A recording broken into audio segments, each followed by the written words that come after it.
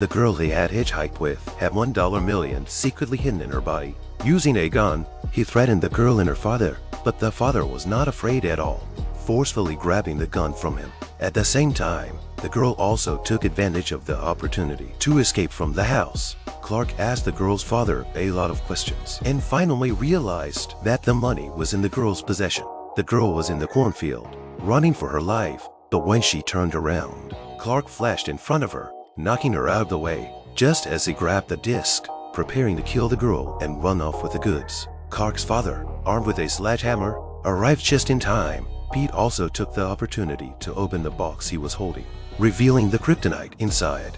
The next moment, Clark's legs went limp and he fell to his knees.